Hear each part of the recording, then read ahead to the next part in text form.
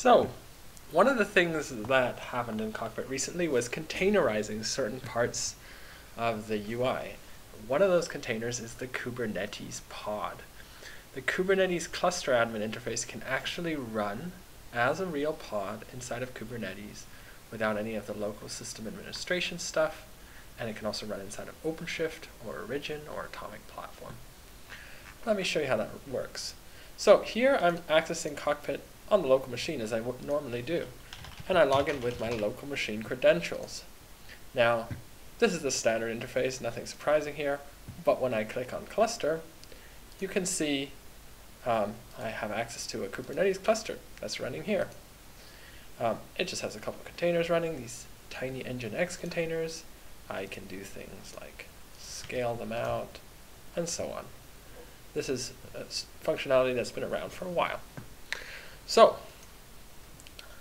what did we do to make this a pod? Well, lots and lots of work went into this. Surprising amount of work, actually.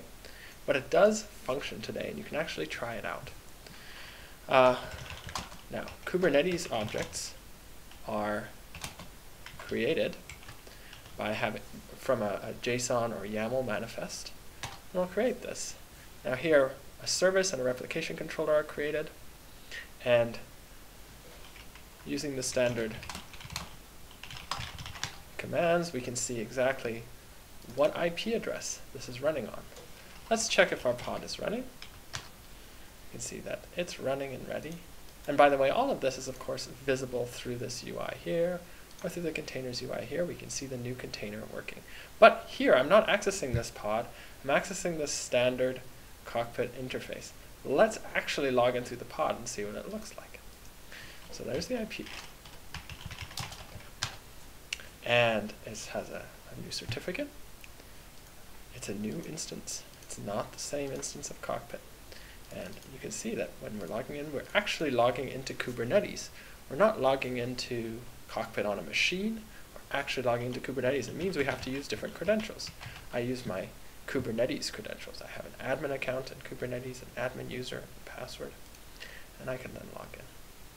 And now you can see that I'm in here, and I have the same view. You can see the same stuff, dive into the same details, and so on. And the let's kill this pod, Kubernetes cockpit, and it'll kick us off. And that's proof that we're actually accessing it through Kubernetes. It'll take a moment to die.